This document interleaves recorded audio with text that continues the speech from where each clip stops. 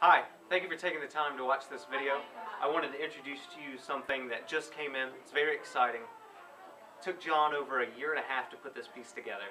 It's a world-class 25 karat aquamarine. Color like you've never seen. Aquamarines of this quality haven't been mined in 30 years. It's set onto a platinum opera chain with old mine cut diamonds and pearls. The piece is $15,000 and it's just a one of a kind piece. Take a look.